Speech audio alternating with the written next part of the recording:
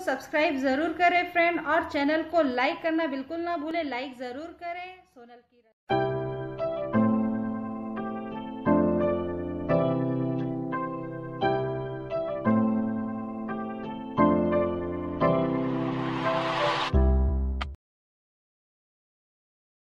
hello friends Sonal baking cook में आपका स्वागत है। आज मैंने हॉट एंड सार सूप बनाया है, बिल्कुल रेस्टोरेंट स्टाइल में।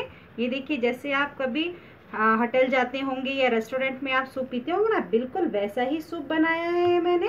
तो चलिए, मैं आज आपको इसकी रेसिपी बताती हूँ कि किस तरह से आप हॉट एंड सार सूप बिल्कुल होटल स्टाइल का बनाएँगे। बहुत ही टेस्टी बनता है, चटपटा है। बारिश के दिनों में इसका पीने का मज़ा ही बहुत अच्छा आता है, ठंड का दिन हो।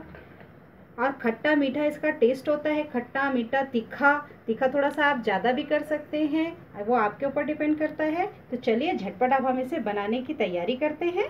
तो चलिए हॉट एंड सार सूप बनाना कैसे है, वो मैं आपको बताती हूँ। यहाँ मैंने ये इंग्रेडिएंट सारे निकाल लिए हैं। उसके लिए यहाँ पर मैंने ये एक कैप्सिकम कट किया है। थोड़े से हरी प्याज है ये। यहाँ मैंने एक गाजर एकदम बारीक फाइन चॉप कट किया है। आप चाहे तो किस भी सकते हैं, लेकिन कट में टेस्ट अच्छा आता है। और यहाँ मैंने ये कैबेज लिया है, इसे भी बारीक एकदम कट कर लिया है। और यहाँ पर मैंने ये जिंजर एंड गार्लिक है, उसे भी बारीक चॉप कट किया है। सूप में एकदम बारीक चॉप होना चाहिए। यहाँ मैंने एक चम्मच अजीनोमोटो लिया है, दो चम्मच कॉर्नफ्लोर लिया है, या विनेगर लिया है मैंने दो बड़े चम्मच, एक चम्मच रेड चिली सॉस एक चम्मच यहाँ पर मैंने सोया सॉस लिया है। और टेस्ट के अकॉर्डिंग हम नमक लेंगे। ये रेड चिली सॉस मैंने पिछली वीडियो में बनाया था आपको मैंने यूट्यूब अपने चैनल पर डाला भी था। यदि आपने नहीं देखा है तो आप इसे मेरे चैनल पर देख सकते हैं। ये घर का बनाया हुआ रेड चिली सॉस है। तो चलिए फटाफट अब हम इसे बनाते हैं। इसमें हमें दो चम्मच ऑयल लेना है।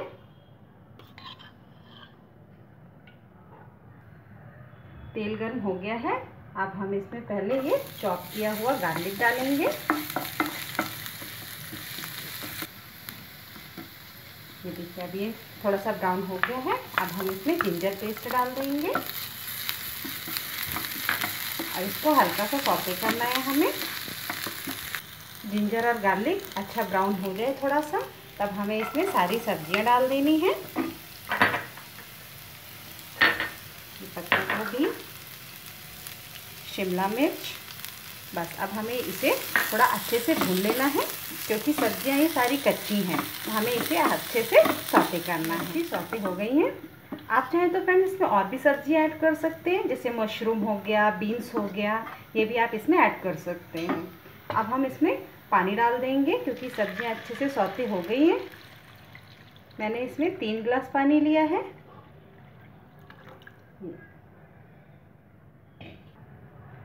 इसमें हमें स्वाद के अकॉर्डिंग नमक ऐड करना है। नमक ध्यान से डालिए, क्योंकि हम इसमें सोया सॉस भी डाल रहे हैं। एक चम्मच अजीनोमोटो। अब हम इसमें सोया सॉस डालेंगे। यहाँ मैंने दो चम्मच सोया सॉस लिया है। दो चम्मच विनेगर एक चम्मच रेड चिली सॉस है यहाँ पे मैंने लिया है। एक चम्मच इसमें डाल देंगे। और इन्हें अच्छे से मिक्स कर लेंगे। थोड़ा सा हम इसमें ब्लैक पेपर क्रश करके डाल देंगे। सूप में उबाल आ गया है, ये देखिए। अब हम इसमें गाढ़ापन करने के लिए इसमें कॉर्नफ्लावर डालेंगे।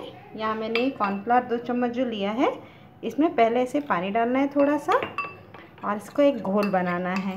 ये इस तरह से पतला घोल करिए। इसमें लम्स नहीं रहना चाहिए, अच्छे से घोल लीजिए देखिए इस तरह से। अब हम इसे सूप में डालेंगे। इसे हमें ऐसे चलाते हुए डालना है।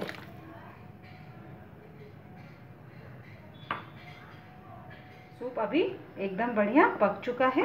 अब हम इसमें ग्रीन, ये जो हमने हरी प्याज डाली थी, ये इसमें डाल देंगे। बस। अब ये सूप एकदम बनकर रेडी हो गया खुशबू भी बहुत अच्छी आ रही है फ्रेंड्स बारिश हो रही है। या ठंड का दिन है तो आप ये सूप ज़रूर बना के पिए। हॉट एंड गार्लिक इसमें बढ़िया जिंजर गार्लिक इस तरह से है। गर्मा गर्म पीजिए। बहुत बढ़िया टेस्ट लगेगा आपको। चलिए, अब हम इसे सर्व करेंगे। चलिए, अब हम इसे बाउल में निकाल लेते हैं। सूप पीने के लिए बढ़िया रेडी हो गया है। एकदम बढ़िया हॉट एंड सार सूप देखिए फ्रेंड्स आप इसे ज़रूर बनाकर ट्राई करिए। कैसा इसमें जो जिंजर गार्लिक है, वो गर्म करता है। तो बारिश के दिनों में ठंडा ठंडा मौसम है, कुछ गर्म पीने का मन करे तो इसे आप ज़रूर बनाइए। अब हम इसे गार्निश करेंगे, जो हमने ग्रीन अनियन कट करके रखे थे, थोड़े से बचा लिए थे। इसको हम ऊपर से हल्का सा डाल देते हैं। देखिए, कितना बढ़िया दिख रहा है। कलर भी बहुत परफेक्ट आया है, और इसकी कंसिस्टेंसी आपने देखा ना, मैंने इसे कितना गाढ़ा रखा। इसी तरह से आप बनाइए। और ज़रूर पीजिए और मुझे कमेंट्स करके बताइए कि आपको मेरी रेसिपी कैसी लग रही है। यदि आपको मेरी रेसिपी पसंद आती है तो प्लीज़ मेरे चैनल को लाइक करिए और अपने फ्रेंड्स को भी शेयर करिए। और यदि अभी तक आपने मेरे चैनल को सब्सक्राइब नहीं किया है तो प्लीज़ सब्सक्राइब भी करिए। Thank you